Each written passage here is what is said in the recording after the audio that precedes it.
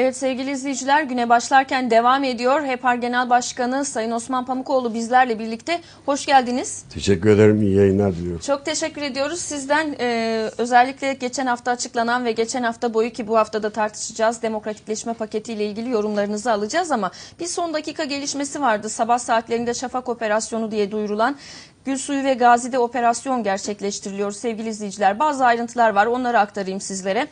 Uyuşturucu tacirlerinin öldürdüğü Hasan Ferit Gedi'nin cenazesinde ellerinde Kalaşnik, Kalaşnikovlar olan bir grup dikkati çekmişti. Bu görüntünün ardından İstanbul Emniyet Müdürlüğü Terörle Mücadele Şube Müdürlüğü tarafından sabahın erken saatlerinde Maltepe Gülsuyu Mahallesi ve Sultan Gazi Mahallesi'nde birçok adrese operasyon düzenledi, düzenlendi. Operasyonun devam ettiği helikopter destekli bir operasyon olduğu aktarılıyor ve e, Gülsuyu'nda yaklaşık 60, Gazi Mahallesi'nde 15 adrese baskın yapıldı. Operasyon yapılan sokaklarda polis giriş ve çıkışı kapattı diyor haber. Evet sevgili izleyiciler bu operasyon Dün akşamda bir yürüyüş olduğu aktarılıyor. Bu operasyonun bu yürüyüşün de ardından gerçekleşmiş olması aktarılıyor. Üzerlerinde üçer silah taşıyan operasyon tümleri ve özel harekat polisleri Gülsuyu Gül Gülen Su Haklar Derneği'ne girdi. Kısa süre dernek binasında kalan polisler daha sonra bina önünde bekledi. Polislerin dernek önündeki ve Gül Suyu'ndaki bekleyişi sabaha kadar sürdü ve ardından da helikopter destekli operasyon başladı deniliyor haberde. Evet, operasyonun devam ettiği bilgisiyle bu son bilgileri sizlere aktarmış olalım günün ilk haberinden ve sohbete başlayalım Osman Pamukoğlu'yla. Şimdi e, bu operasyonla ilgili acaba bir şey söylemek ister misiniz bilemedim Gülsoy'unda yaşananlarla ilgili. E, orada çünkü e, bir uyuşturucu çetesi durumu söz konusu. 9 vatandaş yaralandı.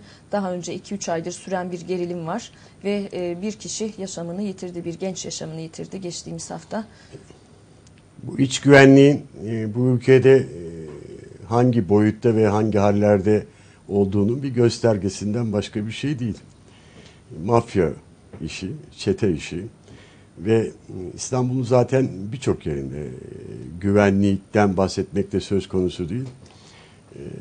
Ama bundan daha beteri var. Biraz sonra konuşacağımız pakette çıkacak o. Bunlar pratik şeyler. Aslında şu hale gelinceye kadar bunların bir ön safhaları var. Yani bir tedbir alınması lazım, önünün kesilmesi lazım. Hı hı. E, toplanmaları lazımdı. Ama e, her şeyde olduğu gibi geç kalındığı için bu da e, geç kalmanın sonuçlarından başka bir şey değil. Paket neyi getiriyor Sayın Pamukoğlu? Paket bir yıldır e, İmralı, Kandil ve hükümet arasında devam eden görüşmelerin ki ona İmralı'daki komitacı başı diyalog diyor. Diyalogun getirdiği bir sonuç. Araya bir takım bazı şeyler de sokarak işte e, işi güya PKK meselesi değil de e, genel bir takım sosyal ve siyasi isteklermiş e, şeyine, tarzına sokarak millete yutturmaya çalıştıkları bana göre suni PKK'yı da tatmin etmeyen sıradan bir şey. Evet oradan gelen en son Cemil Bayık bugün gazetelerde görülüyor. Ee, süreç bitmiştir gibi bir açıklama yapıyor. Bu paket hani tatmin etmediğini o, o şekilde vurguluyor. Buradan anlıyoruz hani onların açıklamalarından paketin ne anlama geldiğini ama siz diyorsunuz ki başka şeylerle süslenmiş ama bir Eğer, e, tabii süreç paketi içine bu. antı koymuş. işte seçim barajını koymuş. Şey yapmış yani garnitür yapıyor falan. Güya bir şey örtmeye çalışıyor akılları sıra. Her zaman da yaptıkları gibi. Yani Bunlar da eyyamcılık şey tanımadığı için, sınır tanımadığı için. Örtmeye çalıştığı ne? Örtmeye çalıştığı PKK ile yürüttüğü müzakere. Şimdi gerçi müzakere lafını adadaki komiteci başı da kullanıyor. Şey de kullanıyor. Onun e, meclisteki kolu BDP de kullanıyor. Ee, şey de kullanıyor tabii. Cemil Bayık Kandil'de kullanıyor. Bunlar PKK'yı falan şöyle PKK'yı oyalıyorlar akılları sıra. Halkı kandırarak, PKK'yı oyalayarak falan ama PKK e, oyalanarak falan sonuçlandırılacak yani e, siyasi ideallerinden ve hedeflerinden vazgeçecek bir örgüt değil. PKK'yı tanıdıklarını da zannetmiyorum. Yani PKK yönetim kadrosunda iyi bildiklerini zannetmiyorum. Bu mücadele nasıl bir şey başından sonuna 30 yıldır onu da bildiklerini sanmıyorum. Dünyanın başka yerlerinde, coğrafyalarda Buna benzer mücadeleler oldu. Onların da ne olup ne olmadığını anlayabildiklerini falan sanmıyorum. Peki bu anlayamadıklarını düşünerek ifade ettiğiniz bir Abi, sonuçta değişmez iktidar. PKK. PKK İmralı'dakine bir defa özgürlük de diyor. Yani bana statü ver. İşte gazeteciler gelsin konuşayım. Beni bu adadan çıkartın. Daha bir özgür imkan ve olanaklar sağlayın. La beraber kesinlikle bölgede bir özellik şart. Yani aşama aşama. PKK stratejide e, boşluk ve doluluk stratejisini kullanıyor. PKK diplomaside de güç ve yolu kullanıyor. Çok iyi de yapıyor bunu. İyi yaptığı belli işte 30 yıldır getirdiği yer bu. Ama kademelendirmeyi de zamana göre çok iyi yapıyor. Yani boşluk ve doluluğu iyi dolduruyor. E, e, Dolayısıyla yani antı kaldırarak PKK'ya e, bir şey sağladığını zannetmek yani ona bir takım e, ne bileyim isteğini yaptığım gibi bir söz verme PKK'yı tatmin etmez. E, O PKK'nın içinde en tehlikeli şey şu köyler, beldeler, ilçelere ve şehirlerin isimlerinin Kürtçe olmasıydı. Ben dikkat ediyorum. Kim konuşuyorsa televizyonda, kim yazıyorsa gazetede, şurada, burada bunlar o paket içerisinde en tehlikeli şeyin bu olduğunu görmediler. Bu. Neden daha en Nedeni şu, fizik olarak bölünecek. Siz hayal edebiliyor musunuz? Dizlerin doğusuna geçtiniz. Binlerce köy Kürtçe. Levhalar Kürtçe. Sokaklar Kürtçe. Dükkanlar, esnaf, iş yerleri, mahalleler Kürtçe. Bir fiziken bölündünüz. Bölme bunu da yapacak bir şey yok. Yani bir zamanlar şöyle söylerlerdi. Bundan 8-10 yıl önce. Herkes de gülerdi onu diyen. Ya bu, bu böyle giderse bu işler biz Güneydoğu Anadolu'ya şeyle pasaportla gideceğiz falan diyorlar. Buraya getirildi. O paket içerisindeki en tehlikeli şey bu. Dikkat ediyorum. Ya kavrayamadıklarından ya zihinsel düşüklükten başka her şeyi konuşuyorlar. O seçim barajıyla mesela seçim barajı sanki şey yani bir ulufe mi veriyorsun seçim barajı? Temsilde adalet yok. Yüzde on baraj mı olur? o üç seçenekten siz hangisini tercih edersiniz mesela ya Ben- da başka bir seçenek hayır, mi? Yüzde üç olacak. Sıfır. Öyle dar bölge, daraltılmış bölge falan yok. Baraj kalksın Hayır, diyorsunuz. Baraj kalkacak tabii. Baraj kalkacak. Mecliste bütün görüşleri, fikirleri, dünya e, ilkelerini her şeyi temsil edeceksiniz. Başka türlü olmaz mıyız? Bir- bir- bir- Başka türlü meclisi yapamazsınız. Mesela yüzde on geçersen şeye giriyorsun, meclise giriyorsun. Ne demek yüzde on? Dört buçuk milyon oy demek. Ne olacak yani? Dört milyon dört yüz dokuz bin küsür küsür alsan ne olacak? Dört milyon oyu at. Üç milyonu at. Bir milyonu at. iki milyonu at. Böyle demokrasi mi olur? Bu paketi yapacak baba yiğit. Şuradan başlar. Demokrasi ise eğer. Bir, YÖK denilen o uyduruk kurum kalkacak. İki, Rütük denilen o işe yaramaz kurum kalkacak. Üç, askerleri de siyasi işin bir bölümüne angaj eden, bir sırasında üniformalılar, bir sırasında efendim takım elbiselerin oturduğu Milli Güvenlik Kurulu kalkacak. Demokrasi işte böyle olur. Bunların her biri her askeri hareketten ve darbeden sonra gelmiş kurumlardır. Önce onları yap. Demokrasi diyorsanız bir Yap- altını yap- çizelim yap mi? onları. Demokrasi diyorsanız YÖK kalkacak, RÜTÜK kalkacak, MGK kalkacak Kesin diyorsunuz. kalkacak. Öyle yap. Var mı onu yapabilecek yürek? Burada bile şu. Şimdi doğayı bilenler bilir. Tavukları kümese getirmek için bir avuç yem atarsın. Hemen onu yerler. Siz de arkadan arkaya devamlı kümese doğru. Tekrar bir avuç atarsınız. Gelirler sonra tavukları kümese sokarsınız. Bu zaten baştan söylediği. Mesela konuşmanın e, 55 dakikalık bölümü şey laf ola beri göre. Parti propagandası yapıyor. Geri kalan 20 dakikasında da bunları saydı takır tıkır. Bunlar ne bunlar? Bir, ant PKK istiyordu. İki, şehirlerin, köylerin, kasabaların isimlerinin değiştirmesi PKK istiyordu. Üç, barajın değiştirmesini ısrar eden PKK'ydı. Bunlar hepsi PKK'nın istekleriydi. İşte küçük zaten söylerken altı defa söylüyor. Bu olmaz yetmedi diyor. Daha gelecek diyor. Halkı kandırıyorlar. PKK'yı da oyalıyorlar. Ama PKK şu. PKK bunları diplomasi anlamında söylüyor. Ve güç kullanma anlamında bunları oynatır. Nitekim oynatıyor. Ne yapabilir Şimdi bak, şu andan şimdi sonra? şöyle çekilme. PKK çekilecekmiş. Hatırlarız bu televizyonda da söyledim. PKK çekilmez. Çekiliyor gibi yapar. PKK normalde yaz aylarında da bir takım hastalık nedeniyle, lojistik sebeplerle e, efendim iç- orada bazılarını cezalandırmak için zaten güneye alır. Yani e, bizim topraklarımızda Kendi örgüt stratejisi Ya al- ya doğal olarak yapar bunu zaten. E şimdi gene yaptı onu ama bu defa piknik yaparak geldiler. Piknik yapıyor geliyorlar aşağıya doğru. PKK çekilmez. Bakın düşününüz yani e, hatırlayınız. Efendim silahları bıraksın da gelsinmiş. Ve PKK silah bırakmaz. PKK çekilsin. PKK çekilmez. Bunu 30 yıldır anlayamadı ama. Yani 30 yılda ne olup ne gittiğini anlıyor. Hiç kimse anlayamadı onu da söyleyeyim. Bundan sonra ne olur peki? Bu paket tatmin etmediğine göre PKK'yı. Etmediğine zaten söylüyorlar. Bunu adadaki komitacı başı da söylüyor. Kandil de söylüyor. Etmezsen, yapmazsan, yerine getirmezsen onların tabiriyle söylüyorum. Zaten bugün barış ve savaş lafları sıradan oldu. Herkes kullanıyor barış. Demin savaştaymışız biz 30 yıl. Becerememiş. Bu, yani bu Türkiye Cumhuriyeti Devleti 30 yıldır savaşmış. Fakat kazanamamış. Oraya getirdi. Madem öyle konuşuyorsun. Yani dünya tarihini, siyasi tarihini, hak tarihini bilen, savaş nedir ne değildir bilen, barış nedir ne değildir bilen sonunu oraya getiriyorsun.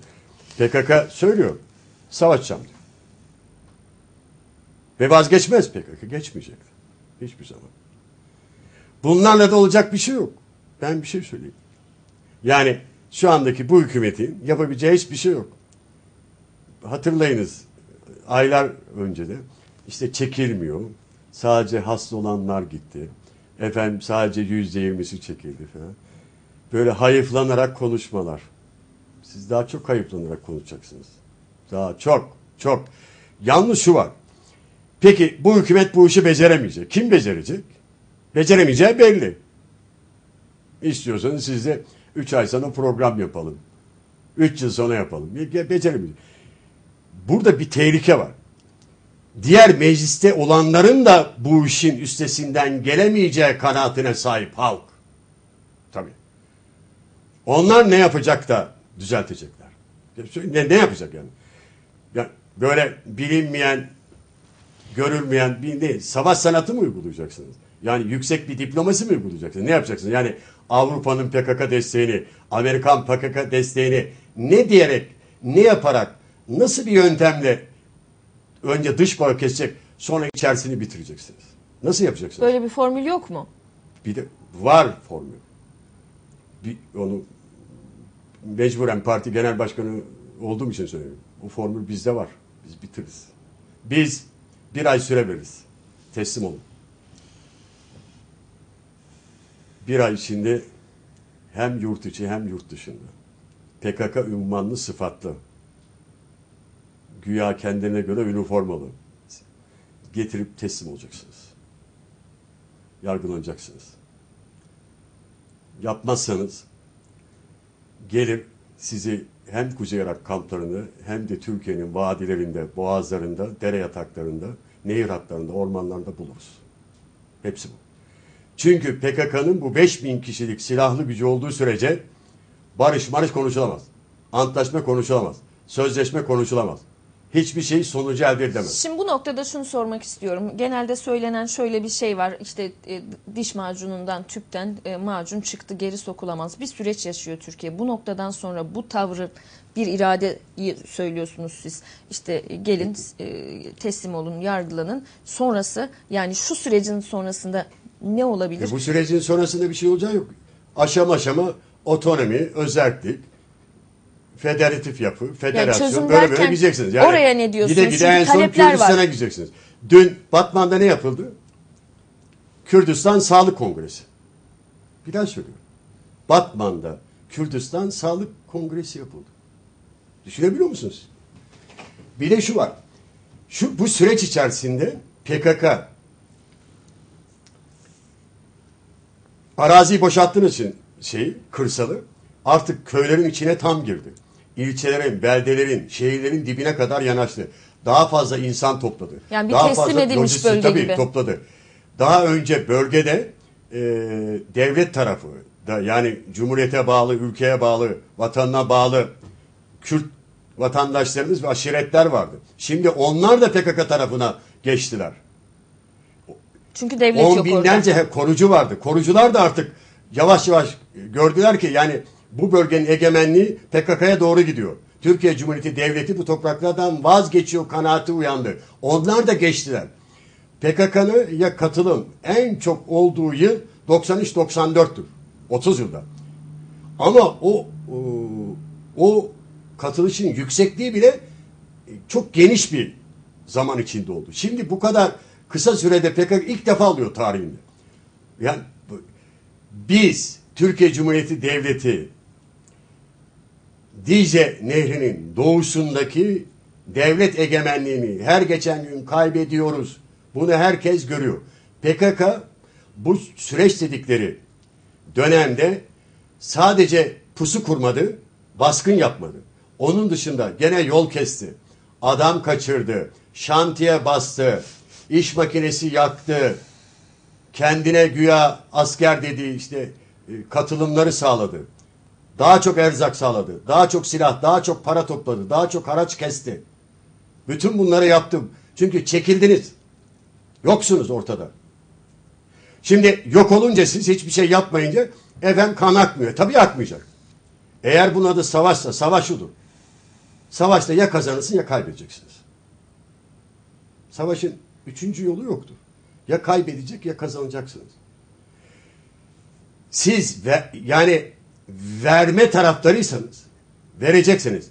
Yani ben bir şey talep ediyorum. Siz gıdım gıdım veriyorsunuz. Aşama aşama veriyorsunuz. Parsel parsel veriyorsun. E niye kan aksın ki? Yapmıyorsun ki bir şey. Kan niye akıyordu? Burada Türkiye Cumhuriyeti Devleti'nin toprağı burası. Bu da Kürt vatandaşlar da bizim vatandaşımız.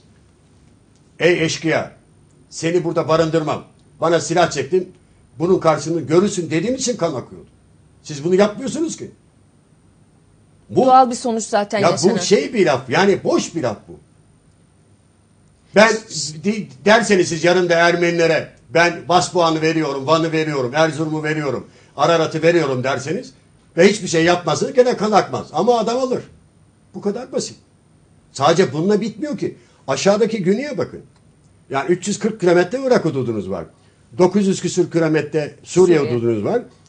Ee, bu Suriye hududunda yani Cilve gözünde, Akçakale'de, efendim Reyhanlı'da 80-100'e yakın insan öldü. Binlerce insan yaralandı. Öbür taraf belli, bu taraf belli. Bir, bir yani böyle bir, bakınız ilk defa söylüyorum. Yani bizim kendi kuşağımıza da söyleyeyim, gençleri de söyleyeyim. Bizim kendi kuşağı da muhakeme etsin, düşünsün ne olup ne bileyim. İlk defa biz bu duruma düşüyoruz. Ya, güvenlik diye bir şey yok. Sevgili Hanım, devlet, devlet iki amaçla var edilmiştir. İnsanoğlu tarafından yeryüzünde. Bir, güvenlik sağlayacaksın. İki, adaleti tesis edeceksin. Adaletin ne olduğu belli ortada. Adalet belli. Nasıl çalıştığı belli. Ne yapıldığı belli. Adalet sistemi belli işte ortada. E gel güvenlik sistemine bu konuştuğumuz. E nasıl bir devlet? Nasıl bir yönetim? Böyle bir şey olabilir mi? Yani Türkiye Cumhuriyeti devleti mi çökertiliyor demek istiyorsun? De, Türkiye Cumhuriyeti Devleti'nin iki şeyi de sıkıntısı var. Bir rejiminde sıkıntı var. iki topraklarında. Toprakları sıkıntılı işte. Hayal Şöyle hayal edemiyor. Sivas'ından güneye indirilecek bir hattın doğusuna geçtiği andan itibaren. Bütün her yerde Kürtçe levhalar, o W, Q, X şeyleri bunun için kondu aslında. Bu da PKK'nın isteği. Bu da aynısı. Oraya işte, işte e, barajı koymuş. Efendim andımızı kaldırın koymuş. Bunlarla, Türban var bir de. Bu, türban. Onu türbanı koymuş. falan. Türban da demez. Başörtüsü diyor. Hepimizin annesi, teyzesi, halamız hepimiz başörtü diyor. Başörtüsü bu memlekete dert değildi ki. Bir stil çıkarttılar. Milletin de şeyini bozdular. Muhakemesi. Bugün Türkiye benim gördüğüm kesinlikle derin bir huzursuzluk içerisinde. Ve halk da bölünmüş durumda. Burada bu işlere bakmıyor, bu işi beceremiyor bu işi. Kendi sınırının hali belli. Aşağıda 1200 kilometre pelperişan. Toprakların hali belli. Dicle'nin doğusunda. Adamlar gittikçe orada kendi egemenliklerini tesis ediyorlar. Belli. Mısır'la uğraşıyor. Amerika ve Avrupa tabii tavrını net koydu Mısır'a. Süt dökmüş kedi. Suriye'ye de herkes tavrını koydu. Şimdi de dut yemiş bülbül oldular. Bu mu devlet yönetimi? Böyle mi yönetilir devlet? Burada şu var. Bu hengame dönerken tam bu dönemde meclisteki partilere bakıyorum. Bunların da insanları, örgütleri şey derdinde. Kim belediye başkanı olacak? Evet, bir seçim süreci başladığı Belki için. belediye başkanı. Peki Be- Böyle bir şey var. Hayır. Kendi derdine düşmüş. Bu, biz sizle konuştuğumuz bu konu var. Bir de bunların derdi var. Bir ilçeden 14 tane aday. 20 tane aday. 41 tane aday olan ilçeler var. Bu şunu, bu memleket Erdem'le ilgili şeyleri, gerçek böyle ülkeleriyle ilgili duyguları, hisleri falan ve muhakemeleri gittikçe kaybediyor. Çünkü orada belediye başkanı rant var. Rant. Evet bir seçim yarışı var. Oraya hani tekrar programın içerisine gelelim de Suriye demişken fazla uzaklaşmadan şunu merak ediyorum. Şimdi PKK ile uğraşırken Türkiye e, şimdi müza- müzakereyi değerlendiriyorsunuz siz örneğin. Suriye demişken de bir El-Kaide konusu gündeme geldi. El-Kaide'yi bunlar destekliyor. Şimdi Reyhanlı'yı o yaptı yapmadı. El-Kaide Hiç- üstleniyor, hiç- İçişleri hiç açıklıyor. boşuna, Hayır onlar hiç değil diyor. Hiç, hiç, hiçbir şey hiç konuş, konuşacak yani çok güzel söylüyorsunuz ama hiç ben size söyleyeyim. Bunlar El Nusra'yı oradaki böyle radikal İslam örgütlerini falan destekleyen mevcut hükümet yapıyor. Bunlar yarın hepsi çıkacak ortaya. Ya herkes de biliyor zaten. Eğitim ver, lojistik ver, onu ver, bunu ver. Zaten Hatay bölgesi şey, ana baba günü. Yani bunlar yapıyor. Ama ben size bir şey söyleyeyim. Ben çok tehlikeli oyunlar oynuyorlar. Yani hem bu PKK ile ilgili meselede hem bu aşağıda Suriye'de yani El-Kaide'nin ve onun kollarının destek sağlayarak çok vahim şeylerle oynuyorlar. Çünkü neden oynuyor? Bu bir görmeme mi yani sonuçta Hayır yok terörle bu şey yani eee at Azım- gözlü. Aynı şey at gözlüyle. E, At gözlü. Mesela mezhepçilikle bakabiliyor her şeye. Mesela Reyhanlı'da 54 tane sünniyormuş. Böyle bir şey söylenir mi? Bunu bunu söyleyemezsiniz. Söyleyemezsiniz böyle bir şey. Taş, bulunduğunuz makam ve memuriyet itibariyle taşıdığınız sorumluluk itibariyle bunu siz söyleyemezsiniz. Mezhep. Daha önce de duyulmadı Türkiye'de böyle bir şey zaten bir yetkilinin Efendim, ağzından. Yani Biz ilk de- kez duyduk öyle bir şey. Biz de bu kadar yıl bu ülkede yaşıyoruz ya. Bir Duyusu, mesela 23'ten beri biz bu kadar e, etrafımız kan revan içinde, toz duman içindeydi. Ve Türkiye'nin politikaları çok netti ve çok keskindi. Hatları çok iyi çiziyordu ve mesafeyi iyi koyuyordu. Mesafeden yok ki. Arap saçı gibi hepsi birbirine girdi. Ve çıkamıyorlardı. Bir de şu var. Efendim yalnız kaldık. E siz yalnız yalnız kaldık. Yalnız kalmışlar. Efendim. E ne, ne et, insan bırakmadınız ki etrafta. Herkesle tabiri caizse dalaşıyorsunuz. Yani böyle dış politika mı olur? İçerisi de iyi. İçerisi. Şimdi mesela bu antı kaldır. İşte şu üç harfi koy. Ondan sonra bütün bölgeyi Kürtçe isimlerle bilmem ne donat. Bunlar hepsi PKK'nın istekleri. Yani. Ama PKK'yı bu tatmin etmez. PKK'nın diyalog dediği bu. Bu diyor küçük yemler diyor. Bu diyor küçük diyor. Arpa diyor, buğday diyor. Bana havyar lazım diyor PKK. Ben diyor 30 yıldır havyar için diyor varım diyor. Ve de vazgeçmem diyor ve geçmeyecek de PKK. Mesela Cemil Bayık geldiğinde ben bir makale yayınladım. Cemil geldiyse bu işin başına Kandil'de tamam. Diğerlerine hiç benzemez. Nitekim benzemiyor. Yani onların içinde şunu söylemek lazım. Yani en gözü kara, en savaşçı adam odur. Cemil'dir. Üstelik şu 93, savaşmak 93 için. Hayır 93 90 95 yılında yani benim de karşımda Cemil Bayık vardı. Yani Güney Saha Koordinatörü diye. Yani Metinan demek Cemil Bayık'tır. Şibi, Zap, Cemil Bayık'tır. Barçere, Cemil Bayık'tır. Avaşi, Mezikaredir, Cemil Bayık'tır. Basyan, Cemil Bayık'tır. Hakuk, Cemil Bayık'tır. Zagros, Cemil Bayık'tır. 30 yıldır adam dağlarda. Aynı adam.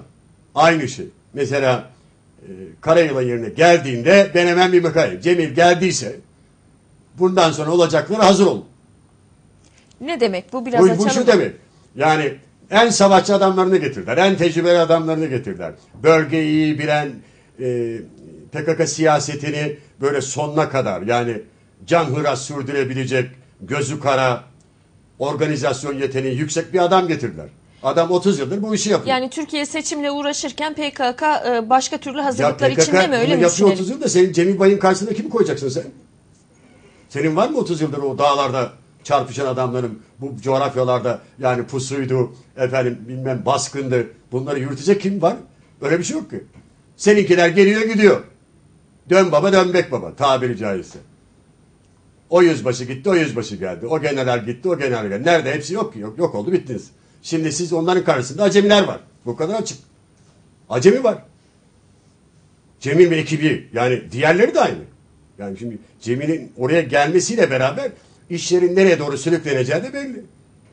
Bunu gör, mümkün değil. Yani e, bu şeydir. Biyografisini bileceksiniz. Karşınızda kim var? Onun biyografisini bilmeden olmaz. Biyografi belli. Kim olduğu belli. Adam 30 yılını orada vermiş dağlarda. Şimdi bu adam mı siz neyle vazgeçireceksiniz? 30 yıl adamın dağlarda geçmiş. Tabii. Eğer oturup doğru konuşsun herkes. Talepleri var zaten açıkça ortada yani PKK'nın yani talepleri. ki zaten. Sen bunu, bunu, senin hükümetin bugün var yarın yok. Senin OA generali bugün var yarın yok. Subayın dün var bugün yok. Az subayın dün oradaydı bugün emekli olmuş. E ne olacak şimdi? Ne var karşınızda? Ne yapacaksınız? Nasıl yapacaksınız? Neyle? Hangi strateji? Hangi taktik? Hangi formüller? Hangi yöntemi uygulayacaksınız siz? 30 yıl ne oldu sonra?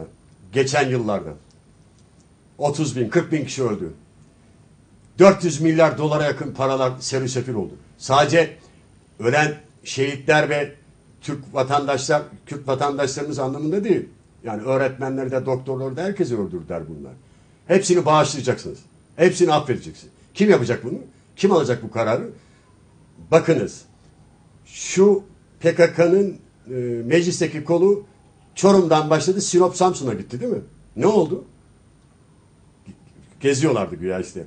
Süreci anlatacaklardı. Ne oldu? Sinop'tan Samsun'a zor gittiler. Geri döndünüz. İşte bu. Bu yol Türkiye için bir kaos. Yani Türkiye'yi bölmeye yönelik bir Ya Türkiye'yi kaosa götürür. Türkiye'de anarşi yaratır. Bizim millet bunu kaldırmaz. İşte küçük örneğini gördünüz. Siyasi uzantısı Sinop'tan Samsun'a gidemedi. ge- götürmezler. Ne demek istiyorum? Siz orayı böyle fizik olarak böldünüz, siyasi istekleri tırmandırdığınız sürece bugün batıda milyonlarca Kürt vatandaşı var yaşayan. Ne olacak? Ne olacak?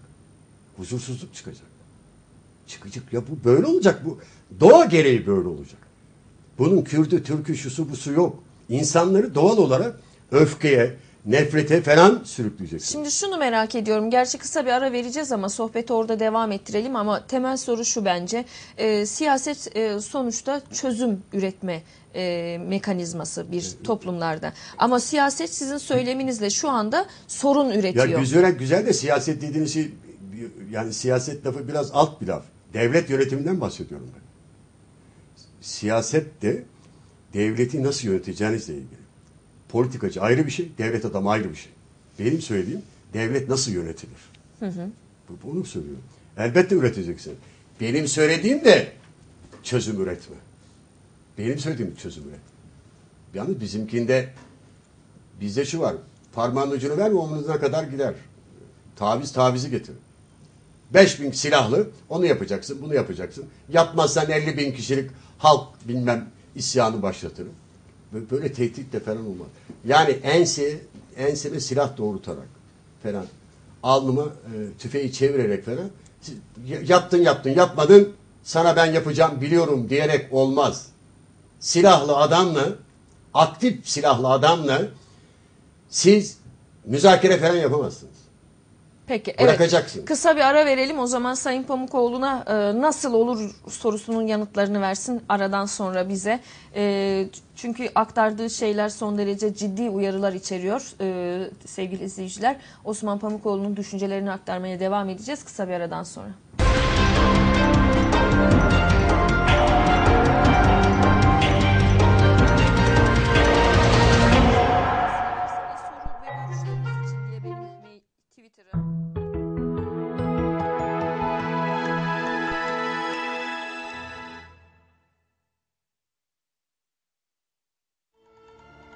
Yoksul ve yorgun düşmüş bir halka unutulmaz bir destan yazdıran büyük kumandan.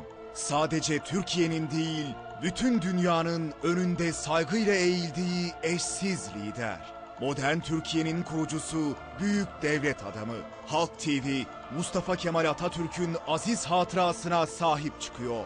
Halk TV, atamızın değerini bilmeyenleri, onun sofrasını ve sevdiği şarkıları anlamayanlara cevap veriyor. Halk TV ve halkgönülleri.com'dan dev bir kültür hizmeti daha. 1. Atatürk'ün sofrasında yaşanan unutulmaz hatıralar. Atatürk'ün sofra arkadaşları. Atatürk'ün sofrasına kimler gelebildi?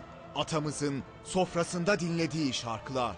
Atatürk'ün sofrasında yaşananlar ve büyük sırlar. Tümü bu kitapta. Atatürk'ün sofrası. 2. Halk TV, gavur İzmir diyenlere inat, İzmir'e sahip çıkıyor. Büyük Önder Atatürk'ün övgüsüne mazhar olan bir şehrin hikayesi. İzmir suikasti ve ardındaki gerçekler. Büyük Önder'i kimler neden öldürmek istedi? Atatürk'ün ikinci memleketi. Atatürk ve İzmir. 3. Anadolu Güneşi. 4. Kadınlarımız erkeklerden daha çok aydın, daha çok verimli, daha çok bilgili olmak mecburiyetindedir. Çağdaş Cumhuriyet Kadınları. 5. Çankaya yolunda. 6. Askeri deha. 7. Üçlü poster set. Bursa Nutku, Gençliğe Hitabe ve İstiklal Marşı. Halk TV izleyicilerine iki muhteşem hediye. 1. Atamızın imzası ve Halk TV logosunun yer aldığı kupa bardak. Siz değerli Halk TV izleyicilerine hediye ediyoruz. 2. Halkın sanatçısı Müzeyyen Senar ve Safiye Aylan'ın eşsiz yorumuyla atamızın anısına özel bir albüm. Bütün Türkiye dinlesin diye Atatürk'ün sevdiği şarkılar hediye. Var da doğası, var da doğası Kazanamadı rakı parası Var da doğası, var da doğası Kazanamadı rakı parası Fikrimin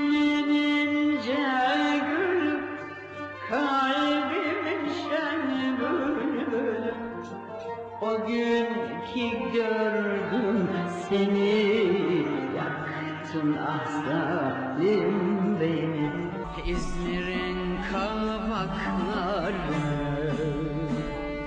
Dökülür yaprakları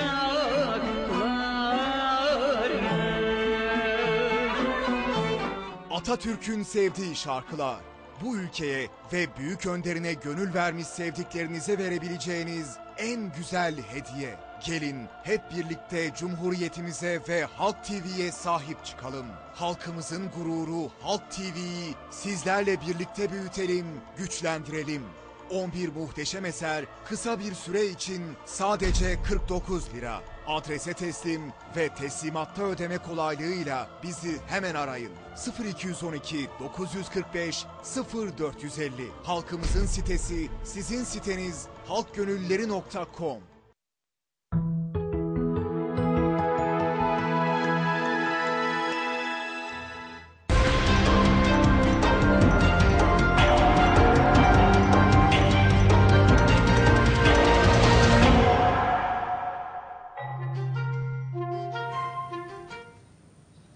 Sevgili izleyiciler AKP'nin yürüttüğü müzakere sonucunda PKK ile Öcalan'la yürüttüğü müzakerenin sonucunda bölgeden devletin çekildiğini, PKK'nın etkinliğinin arttığını ve devlete bağlı Kürt vatandaşların da artık PKK'nın etkisi altında kaldığını ifade etti Sayın Osman Pamukoğlu.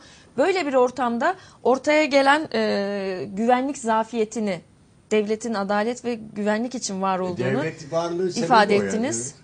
Ve bunu da yaşıyor Türkiye. Bu sonuçta kaosa gider ülke diyorsunuz. Nasıl çıkar buradan Türkiye? Ben mesela bir, bir örnek var. Bunu derken nesnel bir şey de söylüyor. Mesela Çorum'dan kalkıp bir Sinop'a gittiğinizde ne olduğunu gördünüz. Oradan Samsun'a zor gittiler ve geri döndüler. İşte bu bakınız bu sadece süreçte kaldı ki bu eşkıya başı değil. Efendim Kandil'de efendim e, insan öldürmüşler yıllardır falan hala örgütü yönetenler falan değil. Onların sadece siyasi temsilcilerinin Çorum, Sinop, Samsun'da görülmesi bile yetti. Bakın. Görülmesi bile anormal bir tepki. Akillerin turundan bahsediyorsunuz. Akil insan diye. Akil insanların dışında yani meclisteki e, BDP'lilerin. BDP. Onlar aslında biz PKK'lıyız ya. Aslında PKK'nın kendileri. Yani bunu kendileri bilmiyorlar bunu. Bu ne kadar bir yalan ve sahte bir düzen kurulmuş. Belli işte onlar. Kandil'e giden onlar. işte e, adaya giden onlar. Orada konuşanlar. Kürdistan'ı kuracağız yapıyorlar Kürdistan'dan ancak ne zaman Kürdistan. Belli yani PKK ne diyorsa aynı şey. Bunların elinde bir tek silah yok. Hepsi o. Ya bu da bir şey ya. Bir sahte düzende bu var. On, yani dağdakiler ayrı, İmralı'daki ayrı, bunlar ayrıymış gibi. Hayır ayrı değil ki hepsi aynı, söylemleri ayrı. Emniyet amiri tokatlarlar. İstediklerini yaparlar. Efendim, mitingler yaparlar. Efendim işte şey hiç bayrak göstermezler. Bir yani ben şunu anlamak istiyorum. Ne yapmaları lazım ki insanlar bu işin yani çıkmaza doğru gittiğini ve bölgede e, Türkiye Cumhuriyeti Devleti'nin egemenliğinin kalktığını anlamaları için ne yapmaları lazım? Ben çok merak ediyorum. Ne yapmaları lazım? Yani bu Yani daha ne insanları, yapmaları bu lazım insanları gibi mi? düşünün, muhakeme edin falan demek için. Yani zeka çok mu zeka gerektiriyor? Yani Çok daha büyük. ne yapmak lazım Daha gibi her demek şey istiyorsunuz. canım. Peki tam bu olurken aslında süremizin de sonuna doğru geliyoruz. Toparlamak mahiyetinde şimdi bugün Sözcü gazetesi örneği manşete taşımış. İstanbul'da Taksim'de bir gösteri yapılıyor. Thomas su sıkmıyor diye onu vurguluyor Sözcü aslında. Evet. Ee, Öcalan e, posterleri var. İşte Kü- e, Kürdistan Tamam. bayrakları açılmış vesaire. Şimdi öyle bir fotoğraf varken bir yandan da işte yaz boyu yaşadık biz. Gezi direnişi, gezi direnişinin sonuçları e, ve e, polisin e, müdahalesi tartışıldı. Şimdi bir yasa getirdikleri ve e, eylem yapabilir diye gözaltına alabilecekleri ifade ediliyor. Biraz kafa karışıyor şimdi. Ya- Burayı anlaşılmıyor diyorsunuz da Ka- böyle de kafa- bir ortam var. Karış, yok kafam kafa karışmıyor. Oyun hep aynı. Tamam. Aynı tas aynı ama oyun kafanın karıştığı marıştığı yok. Net ve açık her şey. Sürekli e, taviz. Taviz, taviz, taviz, taviz. Sürekli taviz. Başka bir şey yok. Yani o aman yanlış anlar, aman süreç, aman süreci e, provoke ederler. Neymiş süreci provoke? Kim ne yapıyor ki zaten? Yalnız şu var. Bu ülkenin bu hal ve yolda, bu yöntem ve bu tavizlerle nereye gideceğini söyleriz. Provokasyon mu? Neymiş provokasyon? Gezi bunların ödünü koparttı, ödünü. Bir gezi koparttı, bir de o Mursi darbesi koparttı. Mursi darbesi de ötlerini koparttı bunu. Mübarek de seçimde gelmedi mi? Sandık, sandıkçı ya bunlar. Sandık sepet. Mübarek de sandıktan gelmedi mi? Ama ne oldu? Halk ve ordu indirdi. O, o zaman şak şak şak. Bu Mursi'yi de halk ve ordu indirdi. Şimdi ne oldu? Ordu, ordu darbe yapmış. Adam geldi. Mısır Anayasası'na şeriatı koydu mu? Mısır devleti suni bir şeriat devleti koydu mu koymadı mı? Koydu. Bitti. Bu kadar. Yani o zaman Türkiye hem e, PKK'dan kaynaklı bir tehditle hem de rejim e, tehdidiyle karşı karşıya mı demek istiyorsunuz bu anlamda Demek bir istiyorum Mısır be- ortada canım. Yani horoz resmi yapılıp altına horoz yazılmaz. Horoz Kenya'da da aynıdır. Çin'de de aynıdır. Amerika'da da aynıdır. Türkiye'de de aynıdır. Horoz belli. Altına yani illa bu horozdur falan yok. Bellidir o, görünür. O zaman Türkiye Cumhuriyeti ile ilgili olarak e, önümüzdeki süreçte yaşanacak iki sıkıntı var. Birisi PKK ile bölünme sıkıntısı, birisi rejim. Rejimle ilgili sıkıntı şu. Rejimle ilgili sıkıntı. Şunu diyemezsiniz. Yani. Kindar res- e, nesil efendim e, dindar nesil yetiştirilecek. Bunları falan söyleyemezsiniz. Burada efendim Sünni vatandaş oldu. Bunları söyleyemezsiniz böyle şeyleri. Türban taktı. Velev ki bunlar siyasi simgedir. Bunları söyleyemezsiniz. bu partinin oy aldığı taban herkes biliyor ki yoksul ve eğitim alamamış vatandaşlarımız. Kesin böyle. Bunu baktığın zaman her yerde görürsün. Hiç görürsün yani. Bir de şu var. Bu partiyle beraber rant, kazanç, sermaye, şu, bu, ihaleyi artıralım mesele var. Bir de ne olduğunu deniz anası gibi hiçbir zaman yerini tutturamayan bir grup var. Adına ne derseniz deyin bunları. Liberaller deyin. İkinci cumhuriyetçiler deyin. Deniz anası gibi. Bu kadar. Bunla- Bunlarla gidiyor. Şimdi Türkiye'de özgürlükten, demokrasiden bahsediyor. Kim demiş? Siz toplayıp bütün gazete, televizyon sahiplerine talimat vermiyorlar. Genel yayın yönetmenlerini toplayıp talimat vermiyorlar. Efendim bu çözüm sürecini destekleyin diye patron emrindeki köşe yazarlarına talimat vermiyor mu? Mesela ben bir televizyona çıkacağım diye bu televizyon sahiplerine, gazetelere, şunlara bunlara talimat verilmedi mi? Bu korku var ya korku. Bu var ya insanı işe yaramaz hale getirir korku. Bunlar Sonuçları- her korku ve vehim. Birkaç dakikamız var Sayın Pamukoğlu. Nasıl çıkar Türkiye bu Bir- e, bir dakika, aktardığınız bunun kolayı var. fotoğraftan? Biz de siyaset yapıyoruz. Bizim partinin sloganı şu. Baş edik devlet onurlu millet. Biz politikacı mortikacı değiliz. Böyle bunlar gibi 40 yıldır 30 yıldır falan filan. Yalan dolan bilmeyiz. Bugün yapılan birçok ankette yüzde 54 yeni bir siyasi hareket istiyor. Biz de partiyiz. Şimdi mesela seçimler var. Yerel seçimler değil mi? Bunlar hep İstanbul'da o girecek de Ankara'da bu girecek. Bir dakika biz de giriyoruz her yerde bütün ilçelerde. Yerel seçimlerde temel ilçeler. Biz de giriyoruz ilçelerde. Yerel seçimlerde bir oyla bir vilayet kaybediyor. Yerel seçimlerde 10 oyla bir ilçe kaybediyor. Biz de bütün seçimlere her yerde giriyoruz. Nasıl olacak bu? Diyelim İstanbul'un 39 ilçesi var. 30'unda da ben de giriyorum. Binlerce de oyumuz var İstanbul'da. Bunu kim düşünecek? Halep oradaysa Arşın burada. Şimdi zaten ne Arşın kaldı ne de Halep kaldı. Darmadağınık oldu. Burada şuraya getirmek istiyorum. Karar. Bilinçli yurttaşların kararına bağlı her şey. Biz düşüncelerimizi söyleriz, fikrimizi söyleriz, tecrübelerimizi söyleriz. E, Olan kültürümüzü artırırız. Ama bir şey daha söyleyeyim. İlginçtir bu televizyonda. Ben Mal ve Direnci diye bir makale yazdım. Bu makalede e, Recep Tayyip Erdoğan beni dava etmiş. Tazminat davası istiyor benden. Benim bu ile bu işlerle ilgili ben kitaplar da yayınladım. Bütün makalelerinde çok net ve kesindir. Bununla ilgili açmış. Üç tane şey var. Milletvekili şey düzeltiyorum. Ee, avukatı var. Başbakanın. Üç avukatı. Şimdi da, davacı o. Recep Tayyip. Davalı Osman Pamukoğlu. Şimdi yazıyor yazıyor işte şunu yazdı da benim rencide etti de beni şunu yaptı da bunu yaptı falan filan. En son hüküm kısmı var ya hüküm kısmı. Şeyde dilekçelerinde. Davalı Devlet Bahçeli davacı Recep Tayyip Erdoğan'a Kes kopyala yapıştır olmuş galiba. Peki. Tek- Teknik bir sorun var orada anladığım Cennet kadarıyla. etkisi. Bunların bir hukuki belgeyi bile ne kadar gayri ciddi düzenlediğini anlayasınız diye söyledim. Kes kopyala yapıştır olmuş belli ki.